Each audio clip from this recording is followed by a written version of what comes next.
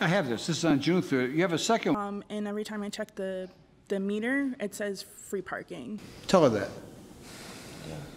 Talking to the mic so I can hear you. Tell her it was 1,100. This defendant comes to court not knowing everything she's been prosecuted for. But upon appearing in court, she seemed like she didn't want to be there. You're sleeping. You have two tickets. No, I got one ticket. Now you have two. One is on July 21st on Darren Street. I only received one. Then you have another one on August 1st on Corinth. She claims she only got one ticket and she happened to have the date memorized. She also had the ticket in hand to show Judge Caprio. But the judge knows what he's talking about. He can't be accusing her of something if he wasn't sure it's true. I received ticket from there. Well, who else drives the car besides you?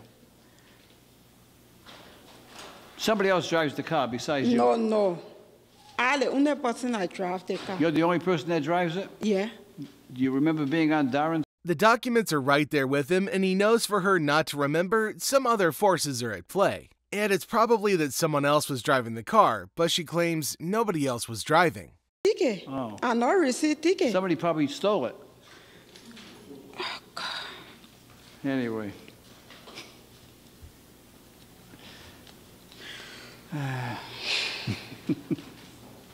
It's forty dollars. See the clerk. Listen, I'm going to tell you something.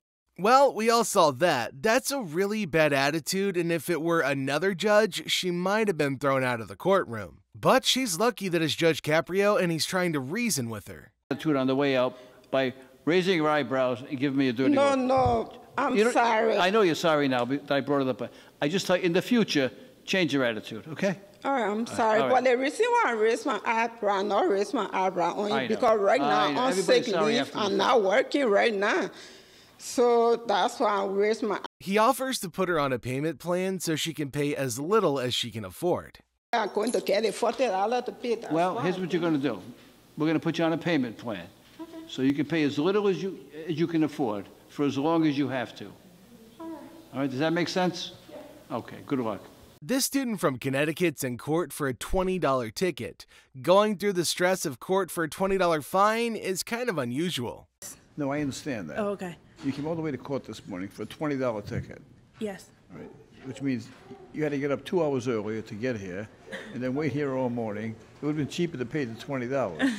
So I, so I can't wait for the explanation. So what do you wanna tell me about the ticket? Um, so I work at Amazon, um, and I She claims she works at Amazon and she's a student, so it's not full time. She only works shifts. And the parking fee is always really high, high enough that she can't actually afford it. She decided to pay one that was more affordable, but it also didn't end very well for her. an 80 to park it on the Harborside campus. Unfortunately, when I get out of work at 5 a.m., there's no campus shuttles, so I had to park the car on the street. Um, somebody had told me that there She usually checks the meter first, and she saw that it said free parking, so she went for it. But unfortunately, there was a time difference where she wasn't supposed to park from 2 to 5, but the ticket was given around 2 o'clock. Matter of fact. The joys of parenting. As a matter of fact, I have a son who's a lawyer, and yesterday he came to the office and said, "I got a ticket." I said, "You got a ticket?" He says, "Yeah." He says, "I was in court." I said, "I've heard those excuses before." That mistake is something that anyone can make. I mean, even the judge's son, who's a lawyer and knew the rules, was a victim of the circumstances once. There you go. Paid it this morning. All right. April, the matter is dismissed. Good luck to you. Thank you. A lady comes to court after she's been prosecuted for having three different registration plates and having parking tickets issued for all of them. She doesn't speak English, so she has her son in court to help her translate and basically do the talking. registration plates. Now, let me tell you what that means to me. That means to me, you got a number of tickets, you didn't pay them, so you changed the registration plate. Then you got a number of tickets on that plate, so you changed it again, saying they'll never catch us. Is that what it means to you, Inspector Quinn? Generally, that's what they do, Judge, yes. Her son claims that they have three cars in the family and they're all in his mom's name. So every ticket that he, his mom, and her husband get are all issued to her. And the whopping total's about $400 when adding the boot fee.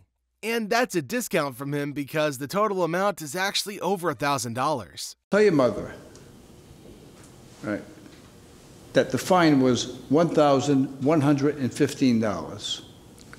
Tell her that. Talk into the mic so I can hear you. Tell her it was $1,115. Era mil dólares. But yeah, it was it was all my ticket. It's all his fault, so he doesn't want to tell his mom, so they had to get someone who speaks Spanish for the court to let her know.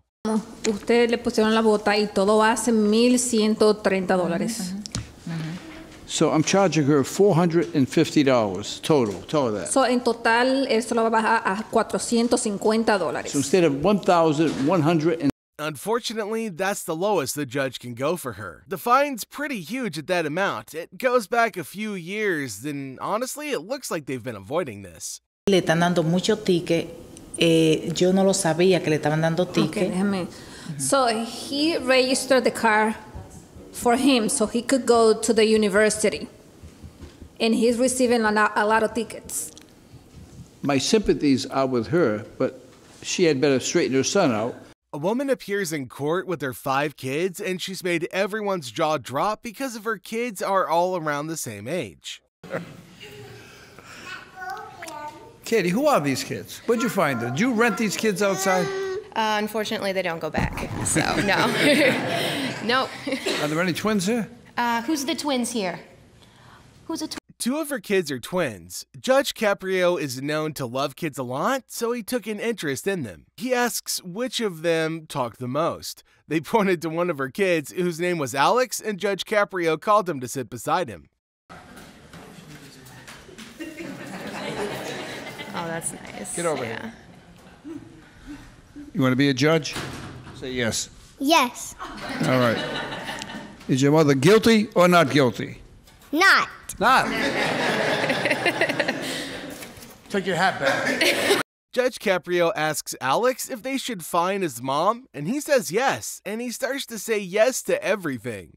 How about $35 court cost? Yes. How about five days in jail? Yes. Inspector Quinn, get the cuffs. How about a raise for Inspector Quinn? no. Ah. I can't win. I can't win. I gotta say, Judge Caprio is truly one of a kind. He's so understanding and patient, and most of all, a good and fair judge. Apparently, the defendant was doing a mile over the limit, which is kind of ridiculous to be fined for, so he dismisses the case. What? Bring that. Take that. Case dismissed. Take case dismissed. Okay.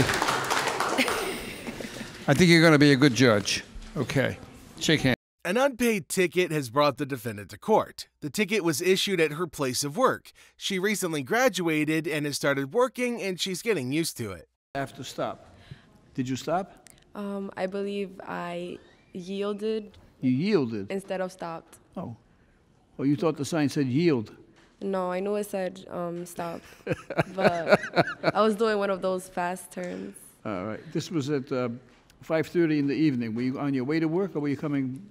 Judge Caprio takes a look at the cam to check the timing of the mistake. She saw the light turning yellow, so she ran and turned as fast as she could.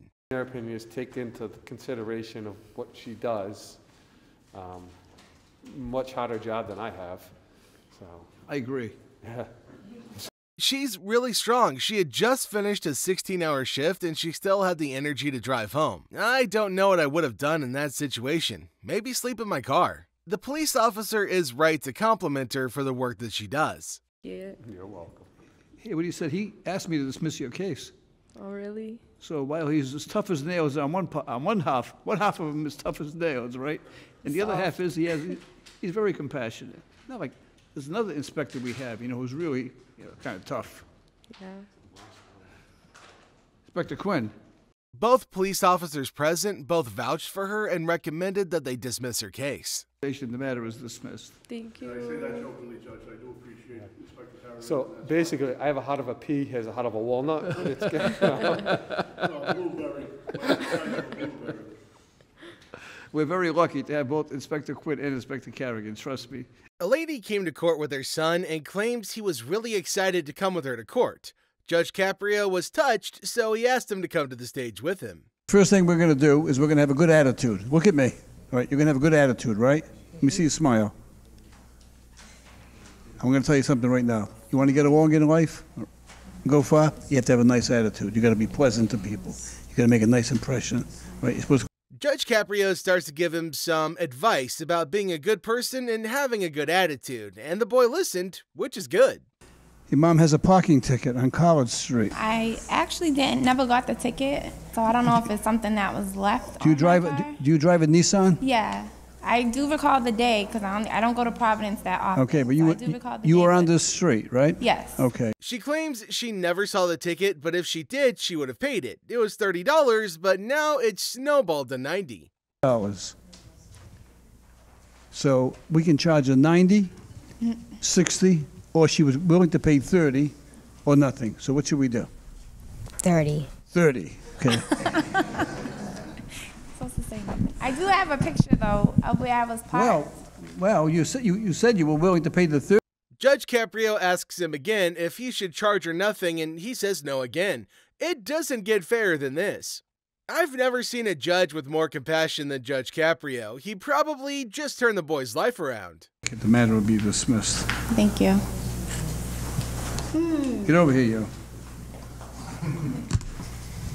Shake hands. Thank you. The day has been quite busy, and unfortunately for the defendant, she had to wade through it all. Her offense is crossing a red light. Hot rodder now? No. No. All right. You charged with going through a red light on North Main and Branch. Yep. Didn't say yep. Yes, sir. Okay. Sorry. Thank you. Okay, we're gonna take a look at it, okay?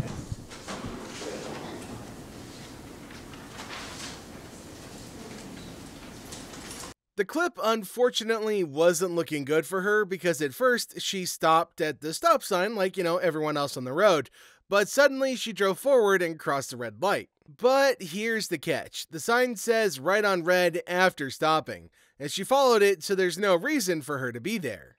For at least one second, which is a long time for a stop. And then you made the right-hand turn, so I don't know why you're here. Inspector Quinn, Uh, You want to clearly, I didn't issue that violation. They might want to apologize to her for wasting her time. Unfortunately, it's just one of those things. Imagine the judge had not carefully checked the clip. Uh, Alex, oh, all right, we're trying to put you at ease, but there's no reason why you should be here. You stopped, you did everything you were required to do. Right? We owe you one. I'll remember that. Good luck. Thank you, sir. The defendant is in court for two violations, but he can only remember doing one. When he was told to come to court, he checked the previous mail to search for the other one, but couldn't find it. Tickets, sir. What do you want to tell me about these? Um, this, I'm, I'd like to just pay the speeding tickets. I, I don't, I don't think I ever got a, anything in the mail. I went back. I, I've had other parking tickets and other things, and I paid them immediately. So I, I just, I didn't know about these, so I, I'd like to pay them. And then, the parking prohibited area one, I, I was, n- His car wasn't his at the time one ticket was issued. That was why he couldn't find it in the mail. He's so nervous and he's scared that they won't believe him. Just the ticket. Okay, thank If you. If I don't, I'll give you a big lecture on telling the truth. Okay. Okay? You believe him? Start the lecture You now, don't- Your Honor. He's the prosecutor, right? Okay. Actually, I believe you. Thank I It's believe probably a previous owner, Your Honor. We could try to look it up to put it in their other name. Why not look it Or just dismiss it outright. Okay. I, I, I brought the certificate of title from when I He brings along a lot of evidence to prove his point that he didn't drive the car when the ticket was issued. Every ticket he gets, he pays almost immediately. All right. matters. One of these tickets, you were doing 31 miles an hour. Okay? We routinely dismiss those. Okay. So that's going to get dismissed. So it's going to cost you $50 Okay. for the other speeding ticket. Thank you. What do you do for a living, sir? Um, at the time we moved here, Brown University brought us over. I was working in there. Judge Caprio tries making conversation with him to help him relax. He tells the judge that he's a real estate agent and his job helps him get out more, which usually increases his chances of making a violation. And the fluctuations in his business has been causing a lot of stress. It's going to be a, there's always something. So What's the commission? 6%? not anymore. it, it can be. It's, it's usually a little less than that, but uh, interest rates are, are, are pretty high right now, so Oh. that's slowing things down a little bit. So You just cost yourself a lot of money. Anyone that's going to see you is going to say, ah, ah, I can negotiate, I can negotiate the price. Six, it's six percent. Good luck.